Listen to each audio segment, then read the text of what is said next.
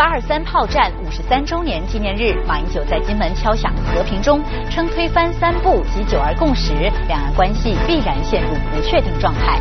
马英九在金门所做的两岸关系表态，该做如何解读？高调赴金门敲响和平钟并发表演说，马英九这又是出于何种考量？本栏目台北演播室专访台湾大学政治系教授张林征，为您带来独家观察。金门今昔大不同，特色战地游吸引了四方游客，旧时炮弹催生特色菜刀产业。昔日战时对峙前哨，夏今今日成为两岸交流的前沿。一日生活圈造福两地民众。台海资讯前沿，两岸独家试点。各位晚上好，欢迎关注由盼盼食品独家居民播出的海峡新干线，我是韩哲。马英九今天上午出席金门八二三炮战五十三周年纪念追思祈福活动，敲响了由历史遗留下来的炮弹铸造成的和平钟，强调两岸和解，凸显两岸和平的重要性。二一，请敲钟，第一响。敲响和平钟，马英九二十三号上午前往金门参加纪念祈福活动。马英九表示，金门炮战五十三年后的金门，已从过去两军的说战场变成两岸的和平大道。平均每天都有三千六百人经过金门来往两岸，每年超过一百三十万人。金门已成两岸小三通的枢纽，这是过去完全没有办法想象的事实。马英九指出，十一年前台湾第一次出现政党轮替时，当时陈水扁曾提出“四不一”没有两岸统合等主张，引起外界对两岸和平的高度期待，结果都没有兑现。当时的台湾当局政府不仅否认“九二共识”，而且主张一边一国，推动所谓“烽火外交”，造成两岸对立升高，台海安全堪虞。结果台湾在国际上更为孤立。当时的政府不仅否认“九二共识”，而且主张一边一国。推动烽火外交，造成两岸对立升高。马英九说，三年多前国民党重新执政后，立刻提出符合台湾利益的务实主张，维持台湾海峡不统、不独、不武的现状，并以九二共识作为基础，推动两岸和平发展。至今双方共签署十五个协议，所以两岸关系蓬勃发展，两岸人民同受其利。马英九呼吁大家要为下一代打造一个和平的环境。我们要为我们的下一代。打造一个和平的环境。Let's work together。在马英九敲钟的同一时刻，全台湾各地百余所寺庙和学校也举行了敲钟祈福仪式。马上就带您进入金立智能手机独家知名播出的《现在台湾》，来看我们的驻台记者叶青林稍早前从台北现场发回的报道。除了金门之外呢，今天全台湾各地有一百多处的寺庙、学校以及其他的场所呢，会共同举行这个和平敲钟祈福的活动。那么我身后呢，就是位于台北市林森南路跟仁爱路交叉口的东河禅寺。这所寺庙呢，已经有一百多年的历史。今天台北市敲响和平之钟祈福的活动主会场呢，就选在这里举行。等一下呢，郝龙斌市长将会带领台北市的各界人士在这里共同为两岸和平。世界和平来祈福。东河禅寺始建于一九零七年，法脉源自佛教浙江的天台宗，寺名东河是祈求东亚和平的意思。从十点三十分开始，台北市市长郝龙斌、台北市佛教协会理事长明光法师、东河禅寺住持修慧法师等各界人士和信众聚集在东河禅寺大殿内外，共同念诵心经，为和平祈福。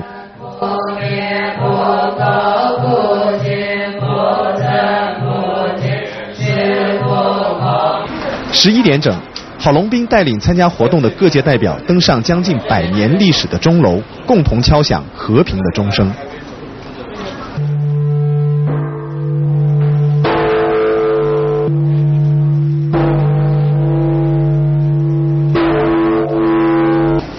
我们在这里为和平祈福，我们也希望所有的民众能够化剑为礼。为守护和平。今天是全省啊各地同步来敲这个和平之钟，那我们两岸也慢慢这几年呢进入到非常好的一个关系。我们希望为中华民族开展啊更辉煌灿呃璀璨的一个未来。嘛，所以今天的这个呃和平祈福法会呢是非常的有意义。因为我想敲醒那些唤醒大众呢。呃，和平是最重要，战争一定会每一个人受到伤害，但是用我们透过宗教啊，希望我们两岸和平，那是最重要的。敲钟仪式结束后，参加活动的人士还纷纷写下和平祈福卡，表达各自的和平心愿。就像郝龙斌在祈福卡上写的“化剑为犁，守护和平”，我想这是所有两岸同胞共同的心愿。今天的钟声也会让全世界听见，会让两岸所有的同胞记住历史，共同走向中华民族美好的未来。我是叶青林，现在台湾。好，各位，接下来要来连线台北演播室，来听听台湾的嘉宾对于今天举行的和平祈福仪式都有怎样的观察。首先来连线我们的驻台观察员张雷，张雷你好。韩长好，观众朋友好，我是张雷，在台北向大家问好。今晚我们的嘉宾是台湾大学政治系的张林珍教授，张教授你好。好，您好，各位观众大家好。今天马英九在金门发表了对于两岸关系的一个最新的讲话，那么它的内容是以九二共共识为基础，改善两岸关系以及维持所谓不统不独不武的一个现状。对于他讲话的内容，你有什么解读和评价？呃，我觉得这个是马英九上台以来，他认为他最重要的政绩，因为呢，他提出了九二共识，所以呢，能够展开跟大陆的和平发展关系的改善啊，那么使得这个两岸关系啊，从他上来之后呢，展开了崭新的一页啊，使得这个两岸之间的关系啊，看起来非常的活络啊。那么这个政策呢，确确实实受到海峡两岸人民的支持。那么马英九今天趁着这个呃金门炮战呃结束之后五十三周年的这个机会啊，到呃金门去啊，高调的宣示他的这个政策啊，那就是展现他的呃就是政策的成绩要给大家看。我们也知道，今天在金门有这样一个活动，是因为是八二三炮战的五十三周年。那么马英九选择在这样一个时机到金门去发表这样一番谈话，并且是大动作的敲响了和平钟。您认为他的用意何在？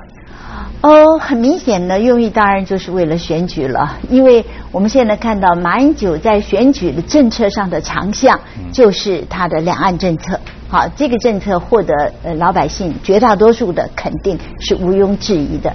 呃，那么这个政策也是蔡英文的软肋，所以蔡英文到今天呃，即便提出了十年政纲，即便提出了两岸篇的一些政策主张，可是你真正的进入去分析的话，你会发现它。非常的空洞，而且你不断在变，跟你以前的立场，跟你以前的谈话内容是是不同的嘛。而且因为你不承认九二共识，所以必然会带来两岸的一个乱局嘛，哈。所以我觉得，呃，马英九今天高调的到带了这个很多的这个政府的成员啊，到金门去敲响这个和和平钟，一来是要彰显就是两岸关系从此要走上和平的康庄大道，只要他能连任的话。这个大概应该没有什么大问题。那第二点，他要凸显的就是说，我的长项就是蔡英文的短项。所以你们是要选一个能够让两岸关系和平稳定发展、台湾安全无虑、台湾的经济可以持续繁荣的人出来继续领导台湾，还是你要你们要选一个呃高度不确定性，在两岸问题上头躲躲闪闪，始终拿不出具体的主张啊落实的一种政策的蔡英文来领导台湾，使台湾的这个安全和经济都受到威胁，两岸关系受到。这个冲撞，然后区域和平也受到影响。你们要选哪一个？他这个这一趟的这个金门行啊，主旨就是，我想就是为了选举造势。好，谢谢张教授的分析。谢谢。现在把时间还给福州，汉哲。好的，谢谢台北演播室的点评。各位，接下来是广告时间，我们休息一下。欢迎进入香港名医下节提示。金门今昔大不同，特色战地游吸引了四方游客，旧时炮弹催生特色菜刀产业。昔日战时对峙前哨，夏金今日成为两岸交流的前沿。一日生活圈造福两地民众。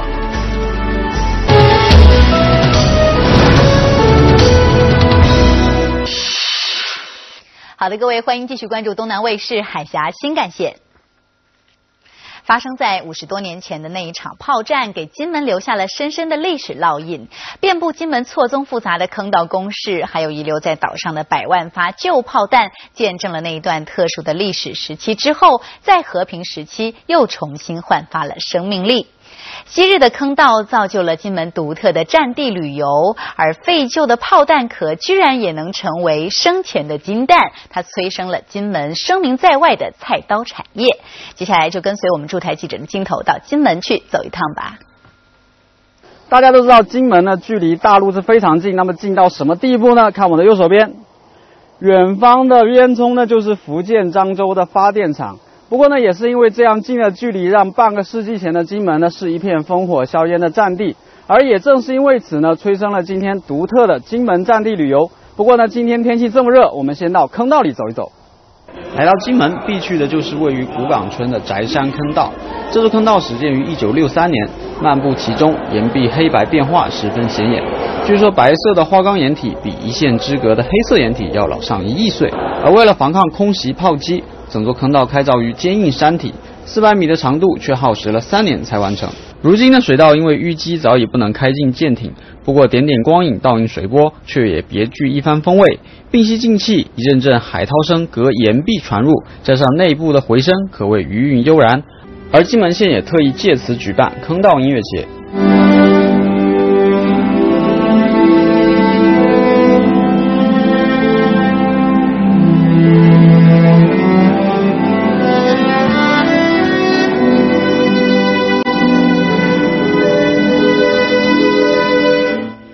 弹奏，小钟慢行，混音配美乐，可谓是让人着迷。同样的坑道，在整个金门一共有十二条，总长近万米。有的坑道窄小的要俯身而过，有的则宽到可以容纳千人居住。虽然开放观光呢只有四条，不过坑道内的奇异景致还是吸引着每天有数千名的游客入内参观。很很冰凉啊，不错不错。感受很上，现在已经没有硝烟了，太好了，变成一个旅游的圣地。来到金门体验战地文化，除了坑道之外呢，还有一项一定是要介绍的，那就是我左手边的这些炮弹。那么看到这么多炮弹堆叠在一起，是不是觉得非常的震撼呢？不过不用担心，因为这些炮弹呢，它们都已经被卸去了火药跟弹头。那么剩下的这些炮弹壳是拿来做什么用呢？想必大家也已经猜到了，就是制作大名鼎鼎的金门菜刀。以前我们最早在做刀是用这个脆片做，哦，因为以前都是用手工在做的年代，完全手工的，所以说那时候都是做做大只的菜刀，我们就剪大块的；做小只的就剪小块的，直接烧直接打。所以说那时候哈，这些脆片一直用用用，一直做做到一九九零年左右才把它做完。炸开的实弹碎片用完之后，如今的金门菜刀的原材料基本来自于不会爆炸的宣传弹。按照一发炮弹可以做出四十把菜刀计算，据说落在金门的炮弹总共可以做成八千万把的菜刀。锋利、防腐与三年不用磨是金门菜刀的三大特点。而吴师傅的刀店也是全金门最早开始用炮弹做原材料的店家之一。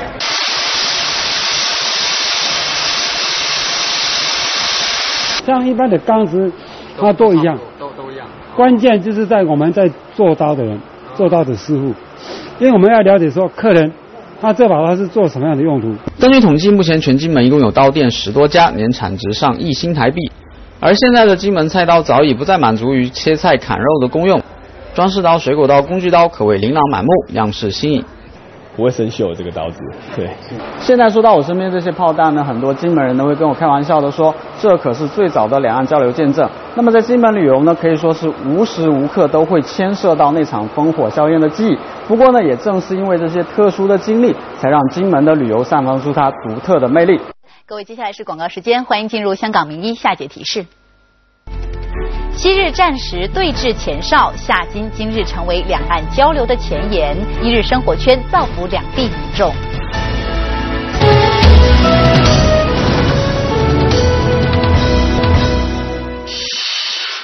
好的，各位，欢迎回来，继续关注东南卫视海峡新干线。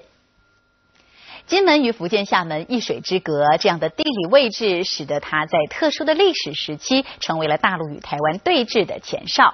而在如今的和平年代，金门更受益于这得天独厚的地理优势，成为了两岸的交流前沿。金门和厦门两地语言相通，习俗相近。二零零一年，厦金小三通航线开航，金门民众纷纷踏上了客轮，到对岸的厦门走亲访友、做生意，甚至干脆定居下来。那么，现在的厦金一日生活圈就已经俨然形成了。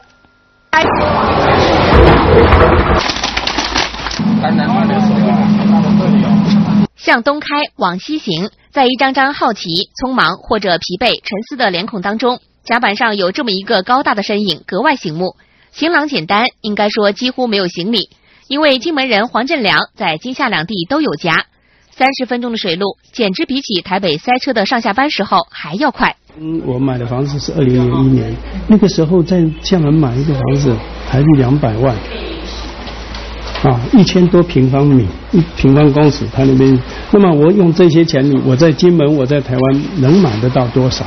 因为当时我来参观这边的一个小学嘛，那回去就是那一趟回去的时候，他们到我家里面说，啊，要不要买一买？我就想说啊，现在交通以后还是蛮方便，买了吧，就买了，连看都没看。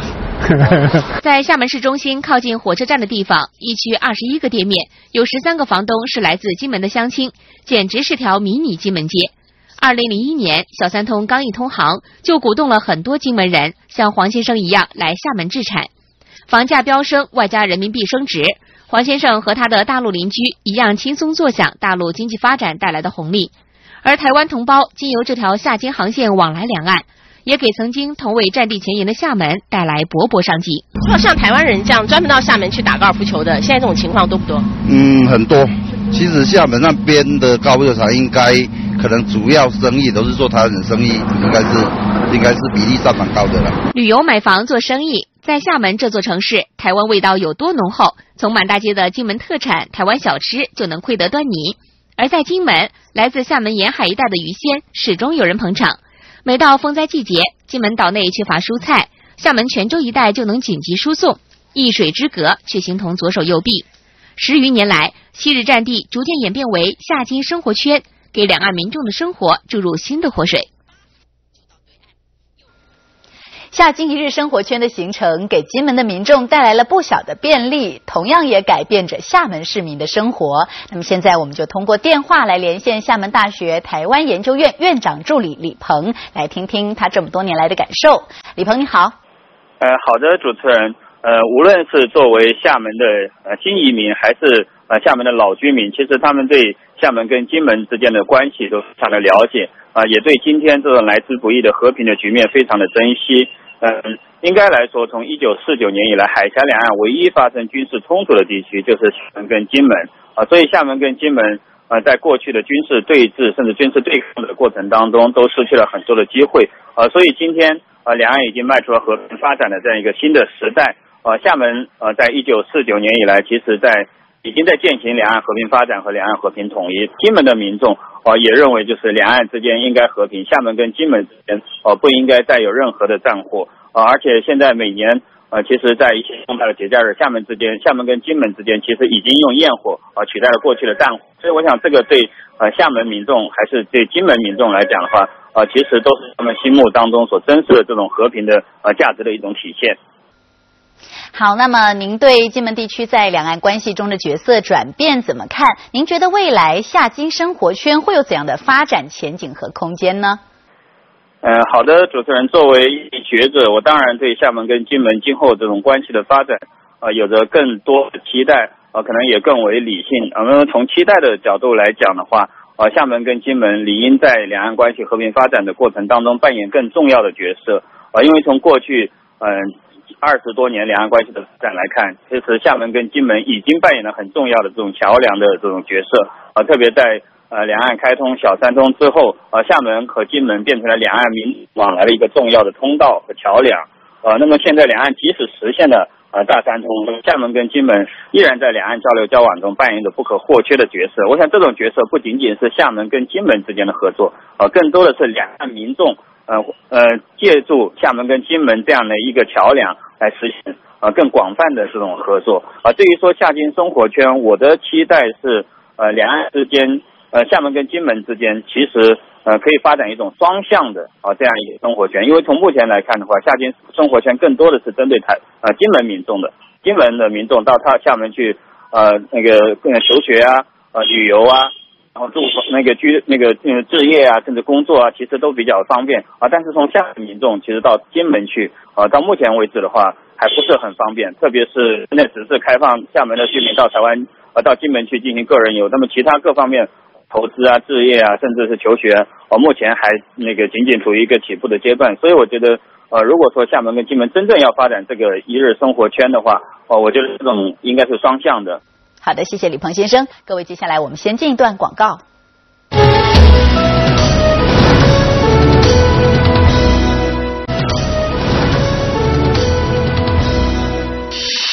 好了，各位，今天的海峡新干线就是这样了，感谢您晚间的收看。如果您想要和我们东南卫视所有的主持人有更多的交流，就可以登录到我们的新浪微博。